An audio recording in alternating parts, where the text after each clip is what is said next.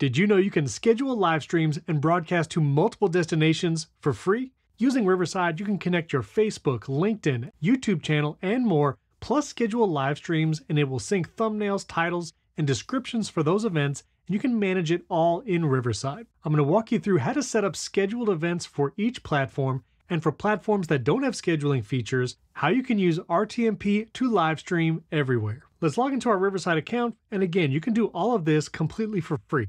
If we want to schedule a live session, let's go over to the Plan button here at the top of our Home tab, and then go to Schedule Session. Let's say we're going to live stream a podcast growth webinar, and then we can choose the date and time of the broadcast. Remember to set the time zone, and then if you're going to be inviting remote guests that's going to join you to record with you or present live during the broadcast, you can type in their email here and they'll get a message with instructions to join the studio. You can also add a description here, and if you were doing a more webinar style event, you can actually collect audience information by turning on registration. You can ask participants to fill out a form before they get access to view the webinar, or they just need to enter their name and email when joining the session live. Now keep in mind, audience registration only applies to viewers joining with Riverside Audience Mode. In order for these audience members to join, you'll need to have the stream on Riverside toggled on in your studio, which I'll show you in a moment. Now let's add some live stream destinations. Now the ones that support scheduling within Riverside is Facebook, YouTube, and LinkedIn. Let's connect our Facebook page first. We can click on Facebook, and then you can choose to connect your personal Facebook profile and live stream there, or a particular Facebook page that you manage.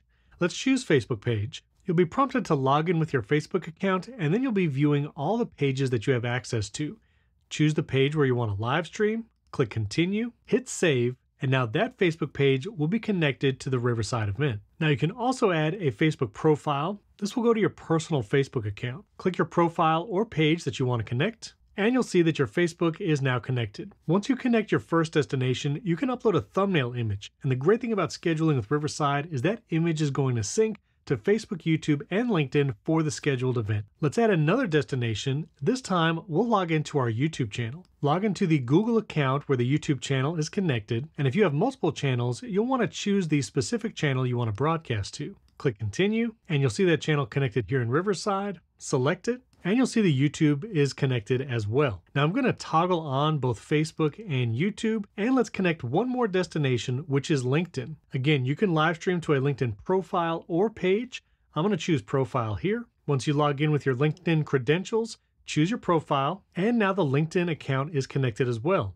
Now, if you would like, you can adjust the title, description, and thumbnail for the scheduled events on each individual platform. So with your YouTube channel connected, you can click the three dots here edit details, and then change the title, description, privacy setting, and upload a different thumbnail for YouTube than you do on the other platforms. You can do the same with your Facebook page, clicking the three dots, edit details, and changing the information here. Now keep in mind, if you make changes to this event after you create the session here, changes will sync to your YouTube channel and Facebook page. At the moment, changes are not synced to LinkedIn, so you'll need to make those changes manually on your LinkedIn page in addition to changing them here in Riverside. Now we can also add other destinations that won't have a scheduled event option, but we can still multicast to when we start this event. That could be a Twitch channel or even your X account. Let's choose Twitch. And once you log in with those credentials, now you can be multicasting to all of these destinations at the same time. Now, before you click create session, remember the title and description are going to sync to those other platforms like YouTube, LinkedIn, and Facebook. So make sure the title, the time and date, and everything is correct.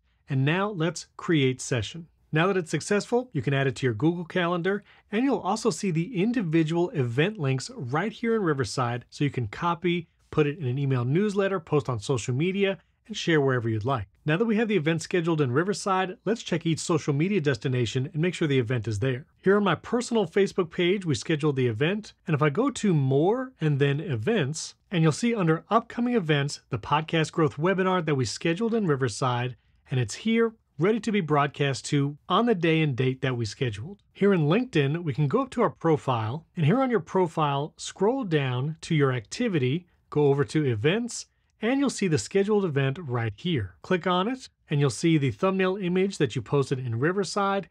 You can make changes to the event here in LinkedIn, and it's ready to go. Then here on the YouTube channel that we scheduled, we can go over to the live tab, and there's the event that we scheduled in Riverside with our thumbnail, we can go in if we need to make further changes to the description or tags, we can do that here on YouTube. Now, on the day of your event, to make sure you're streaming to all those destinations properly, here in your Riverside account, go to Scheduled, where you have that scheduled live event, and click Join Session. From there, you'll enter the Riverside studio and you're ready to record and stream. Now, if you wanted to live stream to a Facebook group, Instagram, or other destinations that don't support direct login, you can use RTMP. For instance, maybe I want to live stream to this Facebook group where I administrate. Well, here I can go down to the Write Something box, and then in the Add Your Post, go to More, and then you'll see the live video option for a Facebook group. Click that, and you can choose to go live right now or create an event for live streaming in the future. You can click Create Event, upload an image, title the event, and add the description, and then you'll see some live stream settings here. You can use the built-in webcam, but to live stream using Riverside, you'll want to choose the streaming software option here, and then you'll need two URLs, the stream key here, and expand the advanced settings, and you'll need the server URL that you can find here copy the stream key to your clipboard. Now to add RTMP destinations, I'm going to go to my studio settings here in the bottom left corner, go over to live stream, and here you'll see the custom RTMP option. If I click that, we're going to enter the stream name. I would enter the Facebook group title there. Now I'll paste the stream key, which we copied to our clipboard, and then the server URL here on Facebook, I'll copy that, and I'll paste it here in the stream URL. When I click add, now that I've added the Facebook group, when I live stream from the studio, I can turn this Facebook group on and the broadcast will go there as well. Let's add two more destinations, the first being Instagram. I'm going to add another RTMP destination. We'll call this Instagram. Then here on Instagram, you want to go to the Create tab. You'll need to do this on your computer. Click Live Video, add a title for the event. Then for audience, you can choose public or just to practice. We'll choose practice for now, but if you want to live stream to your followers, go with the public option. Hit next, and then you'll see the same stream URL and stream key information here. Let's copy the stream URL, paste that here in Riverside, and same with the stream key. Paste that here, and we'll click add. Now we've added our Instagram profile and a Facebook group, plus all these other destinations. All right, now that we've connected all these destinations, let's go into our Riverside studio and start a live stream. I'll go back to the schedule tab here for our growth webinar, and I'll click join session. Here in the lobby, choose your camera, microphone, and speakers, whether or not you're using headphones, and let's join the studio. You'll see the scheduled event title is already here in the top left, and all those live stream destinations live right here, and you can see they're all still connected. Remember, if you had audience registration toggled on when you created the session, in order for those viewers to see the live stream, you'll need to go up here to the live stream settings, and where it says go live on Riverside, make sure that's toggled on.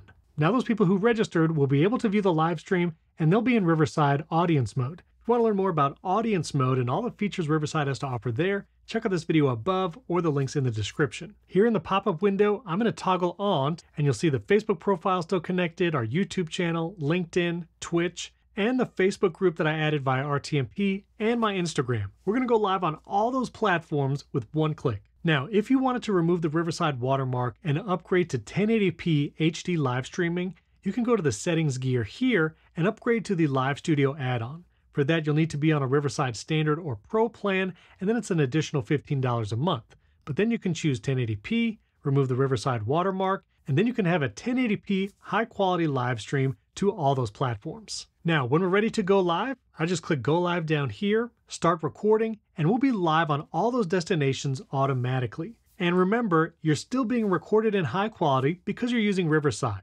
That local video and audio is saved to you and any remote guest that you invite, and they can live stream with you, and then you can access those files later or use the Riverside editor and our AI tools to repurpose your content super fast. If you want to learn more about the editor and all the AI tools we have available, check out this video here and that link's below as well. And then to make your live stream engaging, you can upload media board files here, play them during the live stream, and these video clips or audio clips will be seen and heard by everyone watching live across all those platforms. You can show lower thirds, whether it's information and clickable links are available in Riverside audience mode, but everyone will see the lower thirds, which includes Q&A questions even from the live chat, which when you start live streaming, Riverside has a feature called OmniChat, and that will display comments from Twitch, YouTube, and Facebook in the Riverside studio so you can answer those questions and show them as lower thirds.